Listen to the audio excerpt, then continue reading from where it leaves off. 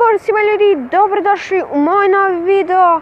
Ljudi, e, danas kao što vidite opet se dopisujem sa Killer Klovenom. Ovo snimam e, e, čim sam snimio prijašnji video, pogledajte.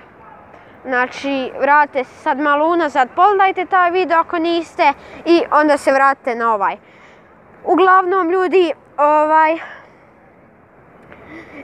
uglavnom počeli smo tu razgovor, ja sam mu napisao ej klovne si još u stubištu i dva smajlja. on je napisao nisam. Ok ljudi, ja ću mu sad napisat.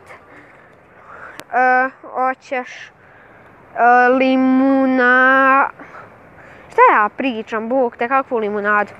Uglavnom ljudi, idemo poslati ovaj neki smali, ok.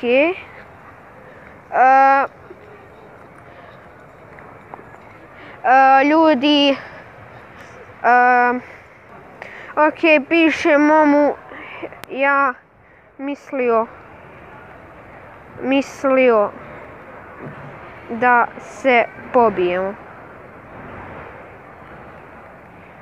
ok ljudi sad prelazimo na onako težu mjeru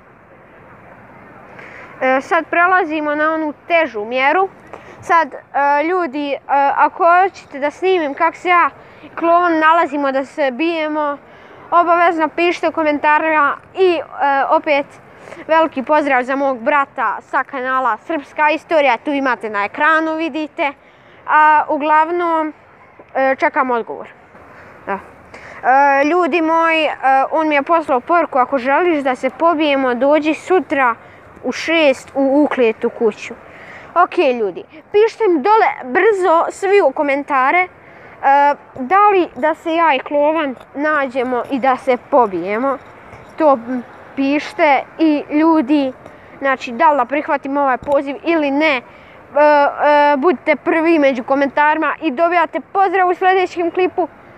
Tako da ljudi, mi sad završamo ovaj video. Jes da je bio kratak, ali šta, šta da se radi, nema puno poruka. Ljudi, mi sad idemo, e, test.